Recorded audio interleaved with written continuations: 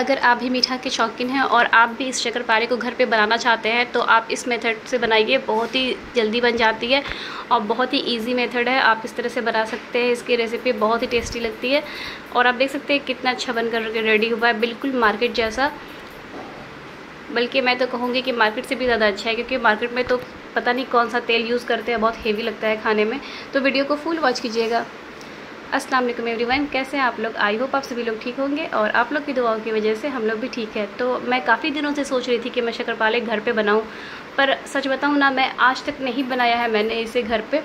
तो जब मैं आज बना रही थी फ़र्स्ट टाइम तो मैंने सोचा कि आप लोगों के साथ इसकी रेसिपी शेयर करूँ। तो चलिए फिर बनाना स्टार्ट करते हैं। यहाँ पे मैंने लिया है मैदा। आप चाहे तो आटा का भी यूज़ कर सकते हैं बट मैं मैदा बना रही हूँ। आपको जो पसंद हो, आधा आटा, आधा मैदा भी यूज़ कर सकते हैं। तो यहाँ पे अब ढाई ग्राम मैदा लिया है मैंने, और यहाँ पे मैं डाल रही हूँ आधा कटोरी घी।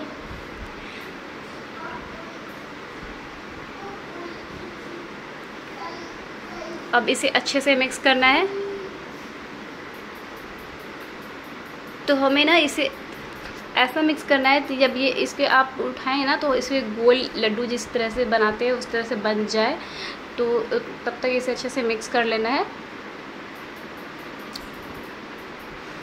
तो मैं तो फ़र्स्ट टाइम बना रही हूँ तो मैंने मम्मी से पूछा था इसकी रेसिपी तो मम्मी ने बताया, इस तरह से बता, बनाया जाता है तो उस, बस मैं है ना इसे बना रही हूँ। तो मैं फ़र्स्ट टाइम ही बना रही हूँ, देखती हूँ कैसा बनता है। वैसे ये मेरी मम्मी हमेशा घर पे बना के रखती थी। तो गाइज़ अब मैं यहाँ पे डाल रही हूँ थोड़ा सा पानी। थोड़ा पानी ले करके इसे, इसकी अच्छी सी डो लगा लेती हूँ।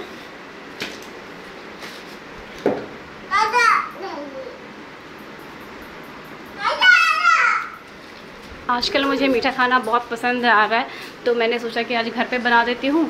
और अमान को भी अच्छा लगता है मीठा खाना तो मैं घर पे ही इसे बना रही हूँ। तो ये देखिए, डो हमारा रेडी हो गया है और इस तरह से मैंने एक पेड़ा काट लिया है इसका, बड़े साइज़ का। और अब इसे ना अच्छे से बेल लेना है। तो इस तरह से मैंने बेल लिया और अब इसे कट करना है। तो कट करने टाइम आप जिस तरह का शेप देना चाहे दे सकते हैं। बट मुझे लगता है कि जैसा शेप इसका होता है, वो वैसे ही रहे तो ज़्यादा अच्छा है। वैसे आपकी मर्ज़ी, आप जैसा कर सकते हो। तो इस तरह से मैं कट कर लूँगी।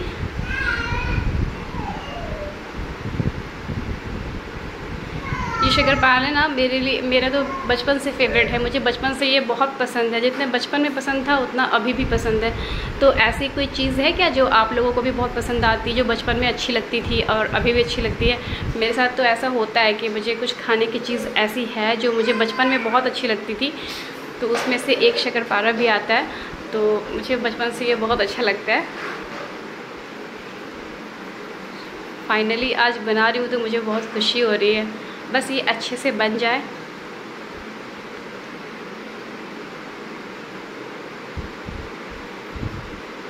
तो गाइज़ इस तरह से ना यहाँ पे कट करना है।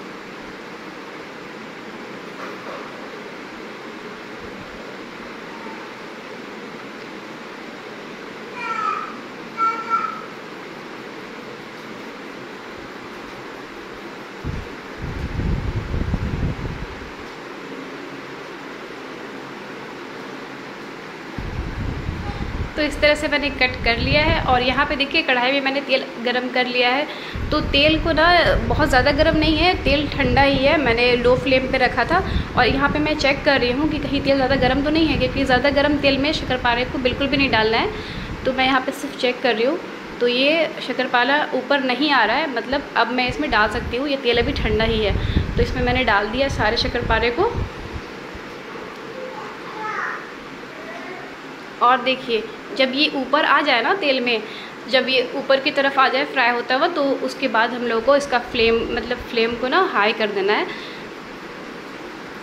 इससे पहले मैंने इसे लो फ्लेम पे फ्राई किया और अभी यहाँ पे जब ये ऊपर तैरने लगे, तब फ्लेम को मैंने हाई किया है। और अब इसे चलाते हुए फ्राई करना है ताकि अच्छे से पक जाए।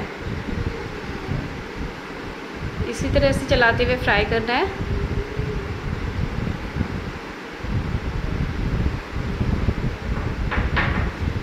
तो इस तरह से चलाते हुए इसे फ्राई कर रही हूँ।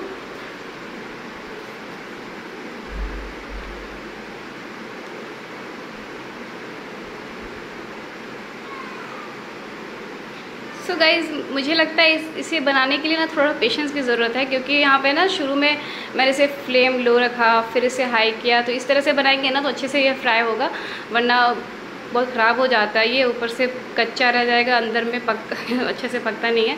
तो ये देखिए, इस तरह से मैंने फ्राई कर लिया है, आप देख सकते हैं कितने अच्छे कलर का आ गया है, बहुत ही क्रिस्पी लग रहा है देखने में।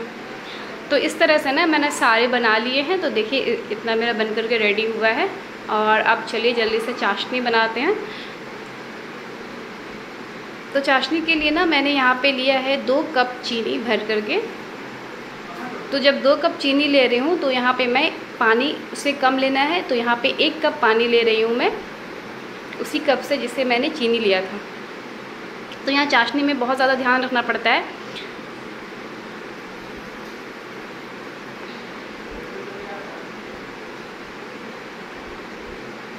अब इसे इस तरह से चलाते रहना है।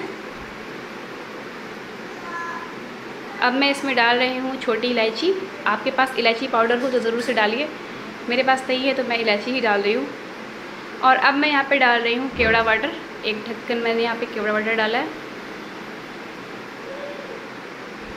और अब इसे चलाता है, चलाते रहना है।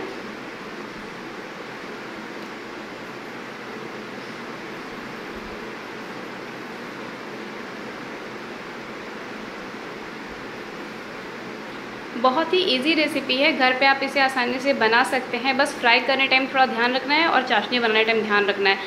उसके बाकी ये ना एकदम बहुत ही अच्छे से बनता है। तो मैं चेक कर रही हूँ कि चाशनी हुई कि नहीं।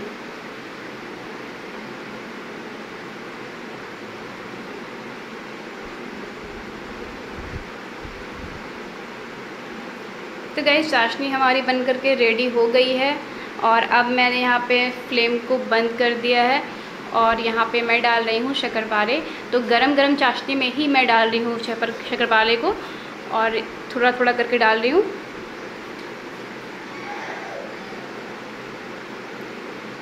और इसे चलाते हुए रहना है ताकि ये अच्छे से मिक्स हो जाए चाशनी में।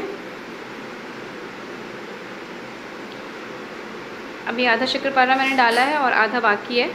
इसमें और थोड़ा सा डाल करके पूरी तरह से मिक्स कर लेना है। इसे ना इसी तरह से चलाते रहना है। तो और आधा जो बचा हुआ है, उसे भी मैं डाल रही हूँ। तो ये सारे शक्करपारे इसमें आ गए हैं और अब इन सबको अच्छे से मैं मिक्स कर लूँगी चाशनी के साथ। तो गाइज़ गैस को मैंने ऑफ़ किया हुआ है यहाँ पे। गैस ऑफ़ है और इसमें बस इसे मिक्स कर रही हूँ मैं कढ़ाई में, जिसमें मैंने चाशनी बनाया था। तो ये अब देखिए कितने अच्छे से मिक्स हो रहा है। अब जैसे ही ये चाशनी ठंडी होगी ना तो ये इसमें चिपकनी शुरू हो जाएगी। ये मत, ये सूखेगी तो फिर आपको दिखेगा इसका चाशनी का।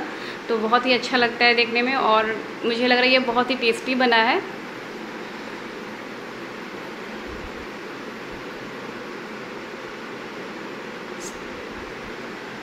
तो इसे थोड़ी देर के लिए छोड़ देना है। सो गाइज़ देखिए, एक घंटा हो गया, एक घंटे के बाद आप देख सकते हैं, इस कढ़ाई को मैंने कुछ भी नहीं किया, बस इस तरह से ये सूखने के बाद इस तरह हो गया है, एक घंटे के बाद उसी कढ़ाई में। तो आप देख सकते हैं कि शक्करवाला कितना खूबसूरत बना है, बहुत ही टेस्टी दिख रहा है और खाने में भी बहुत टेस्टी है। मुझे सोचा नहीं था मैंने कि बहुत अच्छा बना पाऊँगी, पर मैं फ़र्स्ट टाइम बनाई थी तो मेरे हिसाब से ये बहुत ही ज़्यादा टेस्टी बना है।